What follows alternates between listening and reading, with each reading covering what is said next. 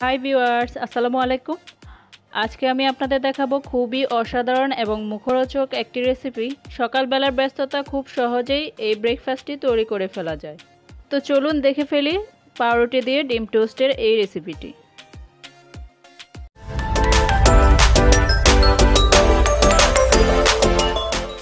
প্রথমে আমি এখানে কিছু ব্রেড নিয়ে নিয়েছি আর এই ব্রেডগুলোকে একটা কাটারের সাহায্যে চারপাশ থেকে এভাবে কেটে নিব।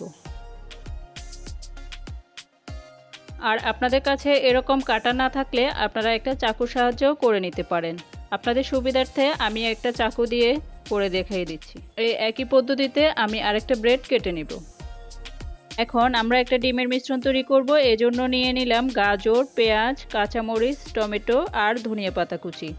এই পর্যায়ে আপনারা আপনাদের পছন্দ মতো সবজি ব্যবহার করতে পারেন। এরপর একটা বাটিতে রুম টেম্পারেচারে থাকা একটা ডিম ভেঙে নিয়ে নিলাম।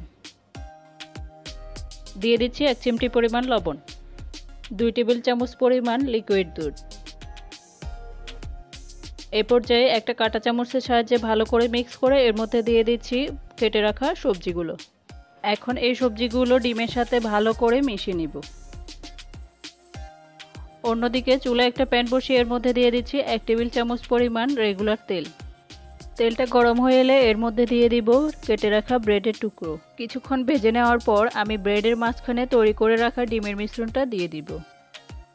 এ পর্যায়ে ব্রেডের আরেকটি টুকরো এর উপরে অ্যাডজাস্ট করে দিচ্ছি এবং একটা স্পেচুলার সাহায্যে ভালো করে চেপে দিব।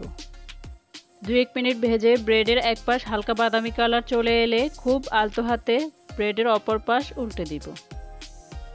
এখন ব্রেডের অন্য পাশ আবার দু এক মিনিট ভেজে আমি উঠিয়ে নিব।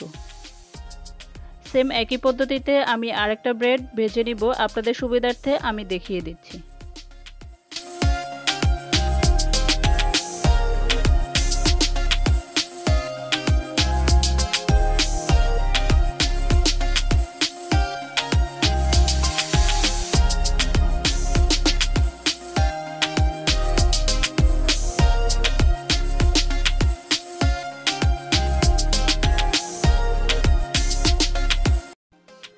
দেখলেন তো ভিউয়ার্স খুব সহজেই আপনারা এই ব্রেকফাস্টের রেসিপিটি তৈরি করে ফেলতে পারবেন।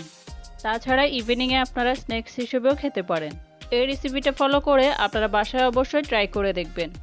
আশা করছি আজকের এই ব্রেকফাস্টের রেসিপিটা আপনাদের ভালো লেগেছে। এরকম আরও নতুন নতুন রেসিপি পেতে আমার চ্যানেলটা অবশ্যই সাবস্ক্রাইব করবেন। সবাই ভালো থাকবেন। আল্লাহ হাফেজ।